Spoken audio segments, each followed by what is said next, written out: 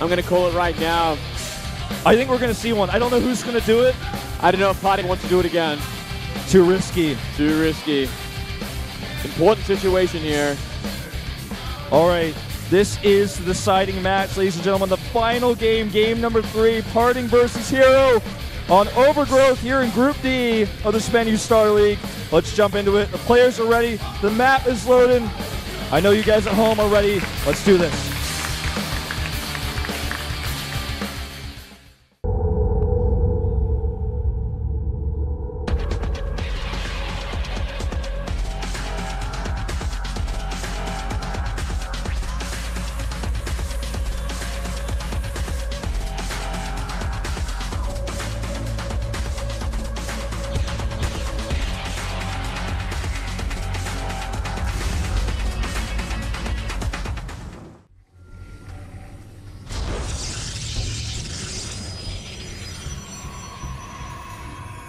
To the bottom left in blue. It's Parting. Attempted to close out the series with some DTs and failed. No proxies today. Damn it. I wanted that crazy third game. But here in the top right is the player that managed to close, uh, tie it up. It's Hero. Crazy game two. Now, just because we don't have approximately doesn't mean we don't see a crazy game here. That's true, Wolf. don't call true. it too early. I won't call it too early, but I'm sure these guys are going to be thinking of, you know, safety first more than anything else in this kind of situation. The elimination game here. But as I say that, looks like Hero is going to be moving on the map, so maybe my proxy prediction might just come true. yeah, maybe not as early as we thought. Uh, very, very early scout here, uh, if it is to be a scout. I don't think that can be a scout, right? It's it's not on the two-player map like this. Not It has to be a proxy. proxy Stargate, right? But super early to hide the probe. Wouldn't it be great if it was like an in-base, two-base, uh, in, in-base Stargate Pylon proxy? or in base? In-base Stargate proxy? Oh my goodness. Is this just a scout? He's like that scared? Is it really?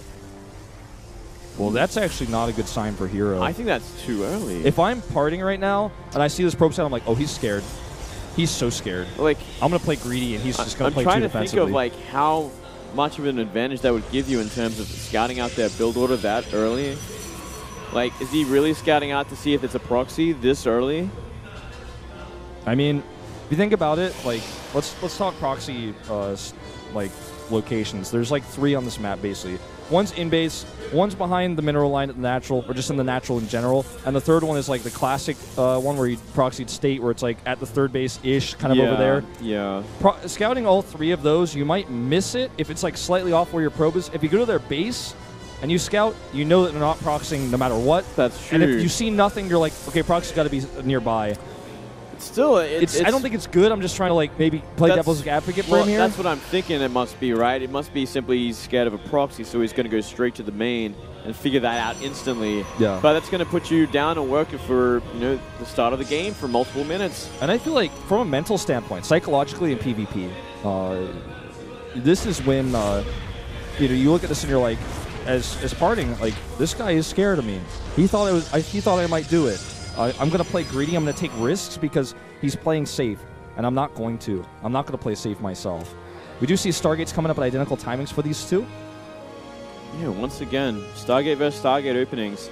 So popular today, we are seeing them. We've seen a little bit of everything today, haven't we? Yeah, we've got a, you know, all different kind of uh, folks, different strokes here. But this has definitely been the most popular uh, type of build of choice. I feel like to go Phoenixes, especially uh, I with that think, Robo. I think one of them definitely is going to go Phoenixes here. It seems to be both of them are trying to hard counter each other in that regard. I think it might be parting going for the Oracle though, because we do see that very quick. Oh, maybe both of them go Oracle. Okay. well, I, I Oh, like the. Oracle for Hero because he's adding the two gates, but the Phoenix for Parting because of how we've seen him go Phoenix into Robo every right, game. right. That is a good point. That actually is a complete point. Um, d- Alright. and that's that's just ba- that was what I was basing my, my theory on here, just because we've seen him do it so far Yeah. so much today. Oh, it makes so much more sense. Yeah. I like this build a lot because it's really flexible. It's kind of a catch-all. You're going to beat DTs. Uh, I was at Twilight Council, I believe. I'm not 100% sure, but just got canceled there. Uh, yep, yep. Twilight Um, Council. But you're gonna you're gonna be good against DTs because you're gonna have that robo for that. You're gonna be good against Blink Stalker because you can get immortals out, and if it's like a super fast Blink Stalker, you can lift. You've got your mothership with your photon overcharge to buy enough time. Hmm. It's it's a good catch-all to expand. It's it's almost too safe in some ways, but Well- like this is gonna get shut down. Two Phoenix is gonna kill this. He's going to kill this. He has to sack it. He has to sack it, but he knows exactly what's going on. And we do see a three-gate, very early aggression from Hero on this natural. And no Immortal out anytime soon. Only one Stalker. I think it just has to get canceled. Yeah, he's just going to use it to buy as much time as he can. Kill that pro before it makes the pylon! Oh, that was so important, and look at that. Locks him out, bring that Mothership Core back. Deny the vision. Oh, he might get that photon overcharge. He's got to do so much damage to this Nexus. Oh, here comes another Oracle, too. Here comes more Warpins. Another Oracle around the side. Hardy is going down this. the ramp. I don't know about this. But look at this. He's going to actually commit these Phoenix. If he loses the Phoenix and loses the photon overcharge in the natural, This is so ballsy. I can't believe he's committing to this, and now he doesn't have a burn overcharge in the main base. Oracle doing so much work. He didn't kills. expect this. This is a great, tricky move by Hero. The risk pays off. It Parting down to 16 probes now. I think Hero can just come down here and two-shot this Nexus at this point. yeah. Here we go. Zealot's tanking it, and here comes a big damage dealers in the back. The Stalkers takes a bit more than two shots, but still, your theory is correct. Still more than enough. And now he doesn't have any sentries, and no photon overcharge. Parting chose to try to hold the low ground, and I think that's going to cost him his tournament life here. Targeting down that Oh, Immortal now. no. There's the lift. The Immortal survives. But he needs more than that. Needs more buffer. But hey, another Immortal pops out. That Zealot needs to get fighting in the back. He's just chilling, getting the fight. Get in the fight. Get the fight, Zealot. What are you doing? And now the Nexus goes down at the natural for Hero, so he's going to maintain and contain from here. Yeah, he's got a probe lead as well. Oh, he goes down this ramp wrongly. Just loses whatever comes down. Yeah. Can't commit. Cannot commit. Oh, he's thinking about it. If Hero only knew. Oh, and there it is. To Okay, be targeting but the Immortal. The Immortal gets down here, which is key. Good micro here by Hero. Oh, he gets the Immortal. That's the most important part. So I don't know if that was worth it. He did lose three Stalkers, I believe, for that. I feel like, you know, I personally feel like it was worth it because he's still going to be able to escape and trade here. He has, that's the only thing he's missing in his in this game, right, is his tech, is the Immortals. Like, he's trying to catch up with that. He has the better probe count. He has his Nexus up first. Here comes another big move. Oh, here we go. There's the lift lift. up one. Wow. Parting with no fear. Such a close game. Pylon eliminated. And the Nexus is complete. Parting continuing Phoenix production because he knows this is going to become more important as the game goes on. But I worry for Parting because he's missing seven Harvesters here.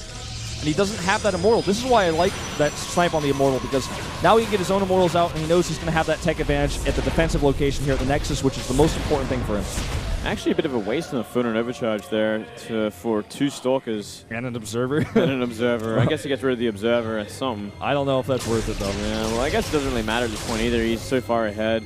He's up an entire base, up 20 supply. And gets a full scout of the main with that Phoenix, but he's going to lose it in the end. Um, what's the worker? I mean, the Phoenix count? Uh, It's currently 3 to 0. it's about to be four to zero. This is Parting's plan. This is his plan. Uh, Go all in from here.